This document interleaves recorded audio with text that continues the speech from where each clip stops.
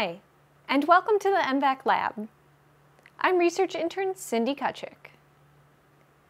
After we bring artifacts, ecofacts, and soil matrix samples in from the field and get them ready for further work, we can turn our attention to cataloging them. Cataloging a collection of any kind means thinking about not just the object, but also the information associated with it.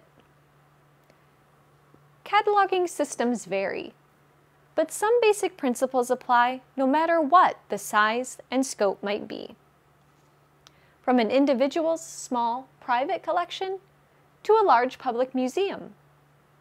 So, we're going to cover some record-keeping basics that can be useful for everyone. Check the description box for timestamps to jump to a particular topic, and for links to helpful resources.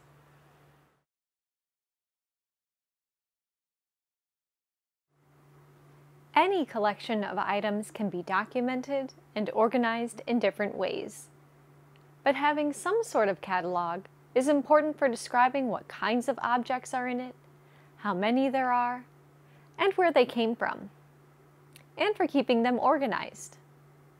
The size and type of a collection, as well as the goals and purpose for keeping it, affect how the items are categorized.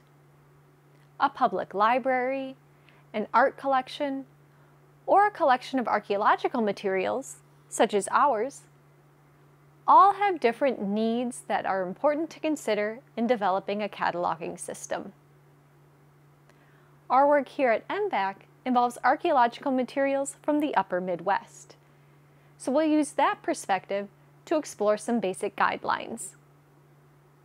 We want to record information about artifacts in a systematic way that documents what was found, where, when, and with what other items. Knowing these details helps us to analyze and interpret artifacts, curate and store them in an appropriate orderly way, and make sure that information about them is preserved for the future.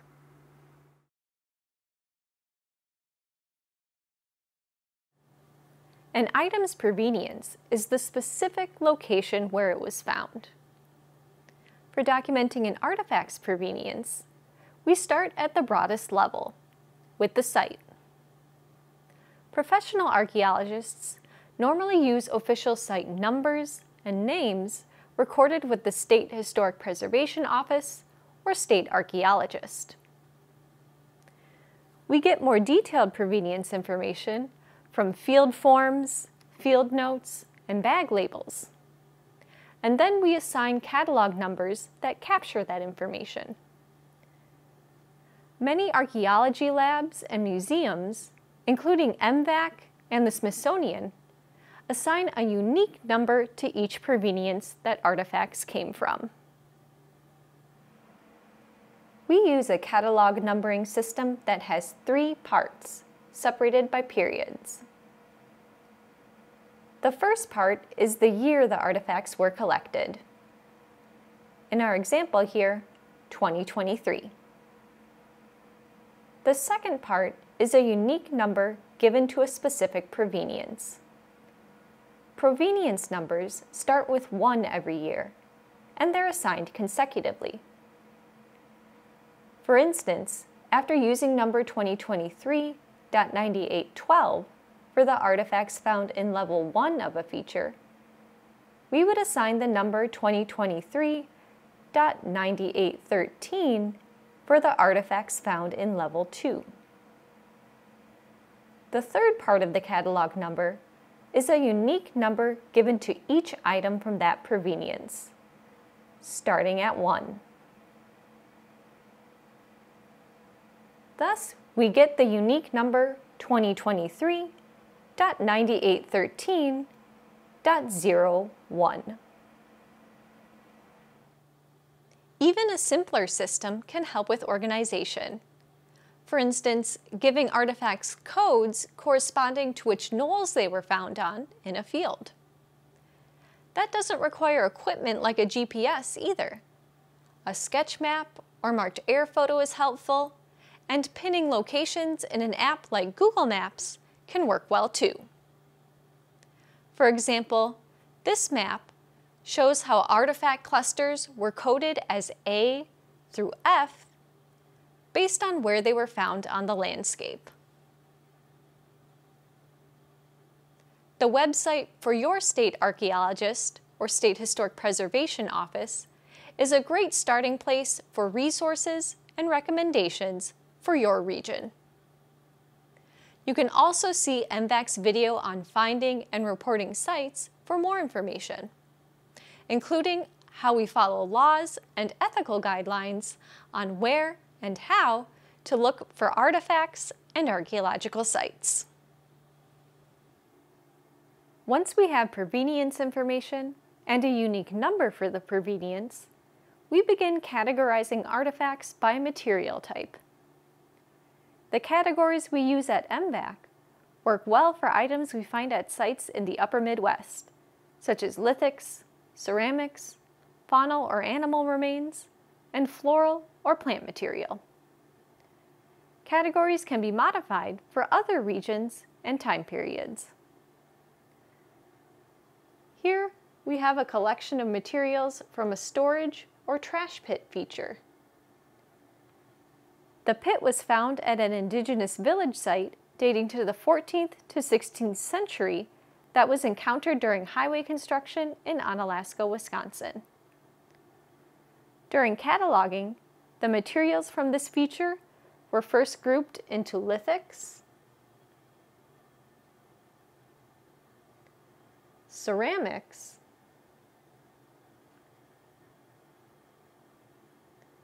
animal bone, and plant remains.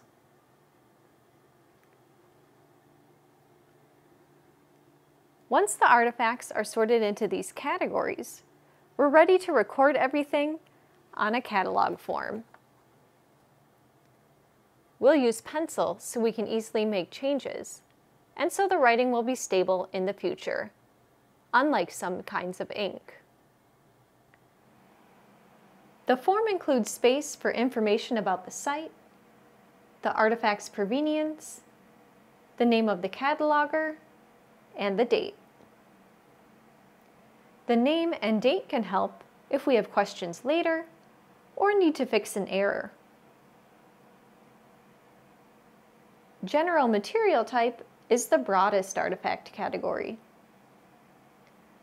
A number of subcategories are important for in-depth analysis. But we'll stick to some basic ones here, since they're useful even for small repositories and avocational archaeologists who want to record and organize their collections. The form has lines for writing down how many artifacts are present in each category. Or in some cases, such as for plant remains, the number of bags, and weight.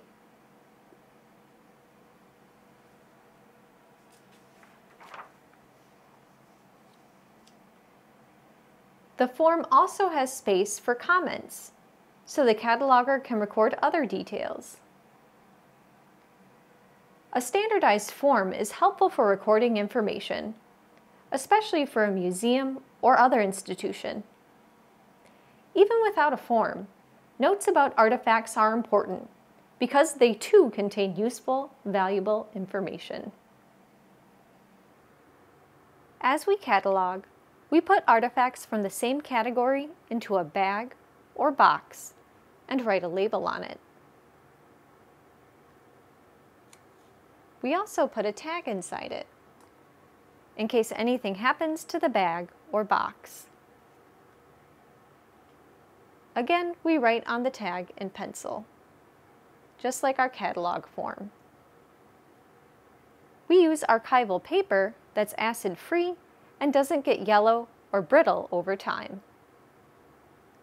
Some items are labeled individually.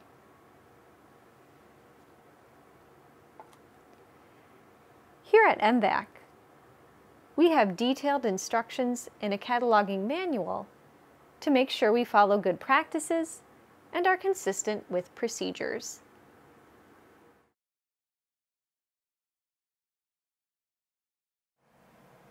Using our example from Onalaska, let's look at some general artifact categories we use in the upper Midwest. Check out MVAC's other videos to learn more about these types of artifacts. First, we'll record the lithics. We see if we have any chipped stone, such as in progress tools, like this unfinished biface,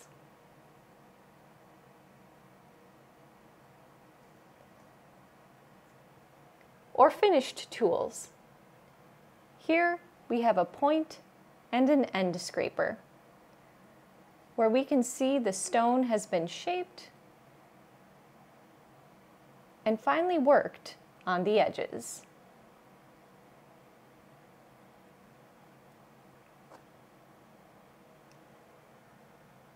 We also have flakes that have a bulb of percussion showing they were chipped off a piece of stone, but they were not worked further than that.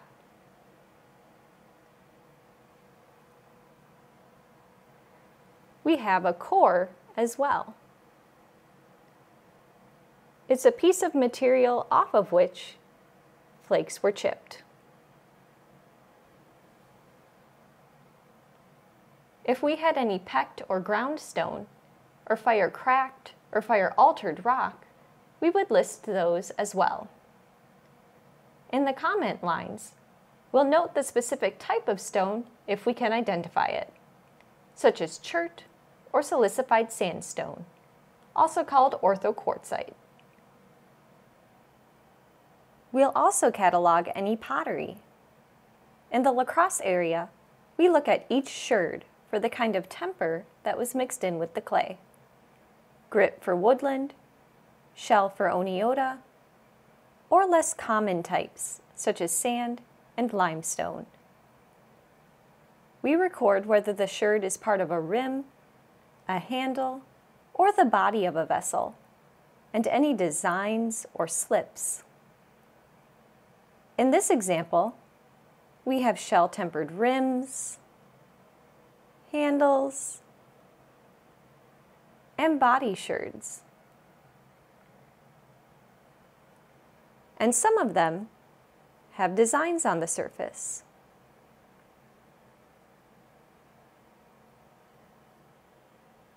We record animal and plant remains in their own categories as well.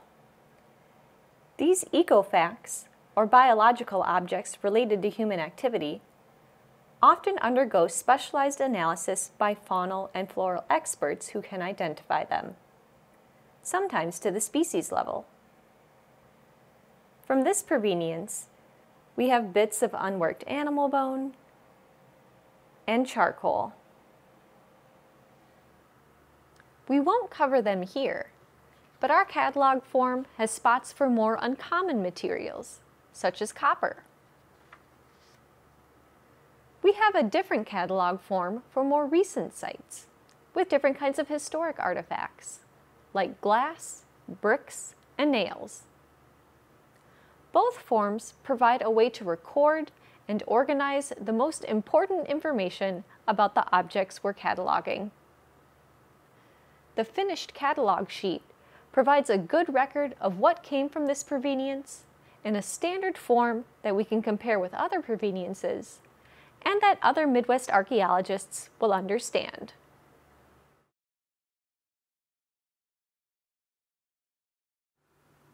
The information we've documented won't just be stored on a paper form, though we will file it for safekeeping.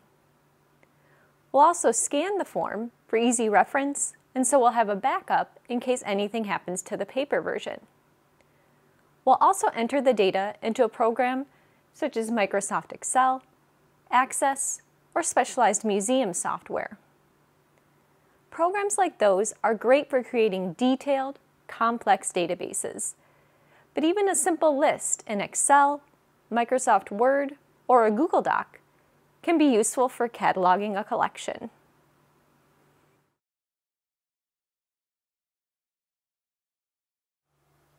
We want to preserve information about artifacts large and small, and the same goes for collections of any size. A cataloging system is vital for knowing what's in a collection, where it came from, and planning how to care for it. Cataloging isn't an end in and of itself. Instead, it's tied to other objectives. For example, it helps in organizing the collection and keeping track of it over time. It also helps with retrieving specific items later, and for studying and interpreting them, displaying them in educational exhibits, or setting them aside for special types of preservation. With archaeological artifacts, it's not just the objects themselves that are important. It's the information and meaning that they carry, and the history they represent. That information, which a good cataloging system helps preserve, deserves care as much as the physical items. For more information, see the description box. And to further explore archaeological topics, find links to MVAC social media, and view and subscribe to our monthly e-news, check out the MVAC website. You can also donate online to support MVAC's work, including our videos. Thanks for watching.